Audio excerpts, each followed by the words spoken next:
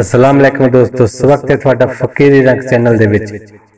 ਇੱਕ ਵਾਰ ਫਿਰ ਹਾਜ਼ਰ ਹਾਂ ਆਪ ਜੀ ਦੀ ਖidmat ਦੇ ਵਿੱਚ, ਉਸ ਅੱਲਾਹ ਤਾਲਾ ਦੇ ਪੀਰਾਂ, ਫਕੀਰਾਂ, ਪੈਗੰਬਰਾਂ ਦੀ ਦੁਨੀਆ ਦੇ ਵਿੱਚੋਂ ਇੱਕ ਵਾਕਿਆ। ਪੈਗੰਬਰ ਹਜ਼ਰਤ ਸੁਲੇਮਾਨ ਦੇ ਤਖਤ ਦਾ। ਕਹਿੰਦੇ ਨੇ ਕਿ ਪੂਰੀ ਦੁਨੀਆ ਵਿੱਚ ਅੱਲਾ ਨੇ ਇੱਕੋ ਹੀ ਅਜਿਹੇ ਪੈਗੰਬਰ ਹਜ਼ਰਤ ਸੁਲੇਮਾਨ ਰਹਿਮਤੁਲਾ ਅਲੈਹ ਨੂੰ ਬਾਦਸ਼ਾਹਤ ਬਖਸ਼ੀ। ਹੋਰ ਕਿਸੇ ਨੂੰ ਐਸੀ ਕੋਈ ਬਾਦਸ਼ਾਹਿਤ ਨਹੀਂ ਬਖਸ਼ੀ। ਕਹਿੰਦੇ ਉਹਨਾਂ ਦਾ ਇੱਕ ਤਖਤ ਸੀ ਜੋ ਕਿ ਅੱਲਾਹ ਤਾਲਾ ਦੀ ਤਰਫੋਂ ਉਹਨਾਂ ਨੂੰ ਦਿੱਤਾ ਗਿਆ ਇੱਕ ਤਖਤ। ਜੋ ਹਵਾ ਦੇ ਵਿੱਚ ਉੱਡਦਾ ਸੀ ਇਹ ਤਖਤ ਹੀਰੇ ਮੋਤੀ ਤੇ ਸੋਨੇ ਦਾ ਬਣਿਆ ਹੋਇਆ ਸੀ। ਹਜ਼ਰਤ ਸੁਲੇਮਾਨ ਪੈਗੰਬਰ ਦੇ ਹੁਕਮਾਂ ਦੇ ਨਾਲ ਹਵਾ ਦੇ ਵਿੱਚ ਉੱਡ ਜਾਂਦਾ ਸੀ। ਇਸ ਦਾ ਜ਼ਿਕਰ ਕੁਰਾਨੇ ਪਾਕ ਦੇ ਵਿੱਚ ਵੀ ਆਉਂਦਾ ਹੈ।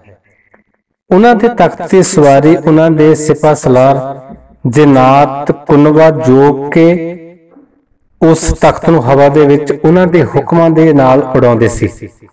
ਇਹ ਤਖਤ ਹਵਾ ਵਿੱਚ ਸਵੇਰ ਤੋਂ ਦੁਪਹਿਰ ਤੱਕ ਤੇ ਦੁਪਹਿਰ ਤੋਂ ਰਾਤ ਤੱਕ ਇੱਕ ਮਹੀਨੇ ਜਿੰਨਾ ਸਫ਼ਰ ਤੈਅ ਕਰ ਲੈਂਦਾ ਸੀ। ਤੇ ਇਸ ਤਖਤ ਦੇ ਉੱਪਰ 6 ਲੱਖ ਕੁਰਸੀਆਂ ਰੱਖੀਆਂ ਜਾਂਦੀਆਂ ਸਨ, ਜਿਨ੍ਹਾਂ ਉੱਪਰ ਅਹਲੇ ਇਮਾਨ ਰੱਬ ਨਾਲ ਇਸ਼ਕ ਕਰਨ ਵਾਲੇ ਲੋਕ ਸਵਾਰ ਹੁੰਦੇ ਸੀ।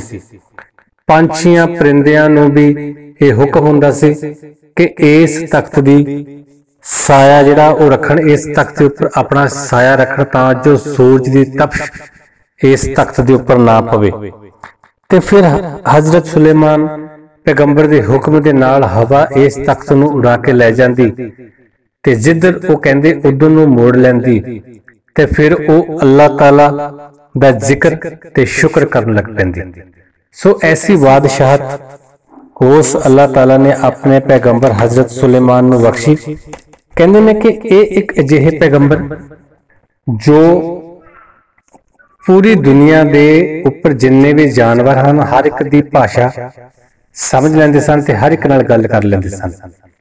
ਇਹਨਾਂ ਤੋਂ ਬਿਨਾ ਇਹ ਹੋਰ ਕਿਸੇ ਨੂੰ ਵੀ ਇਹ ਚੀਜ਼ ਜਿਹੜੀ ਹੈ ਇਹ ਬਾਦਸ਼ਾਹ ਨਹੀਂ ਪ੍ਰਾਪਤ ਹੈ ਉਸ ਅੱਲਾਹ ਤਾਲਾ ਬਰੀ ਦੀ ਤਰਫੋਂ। ਤੋ ਆਸ ਕਰਾਂਗਾ ਕਿ ਆਪ ਜੀ ਨੂੰ ਅੱਜ ਦਾ ਇਹ ਕਿੱਸਾ ਪਸੰਦ ਆਇਆ ਹੋਵੇਗਾ। ਜਲਦ ਹਾਜ਼ਰ ਹਾਂ ਇੱਕ ਨਵੇਂ ਕਿੱਸੇ ਦੇ ਨਾਲ। ਤਦ ਤੱਕ ਲਈ ਹੱਕ ਮੁਰਸ਼ਦ, ਸੱਚ ਮੁਰਸ਼ਦ।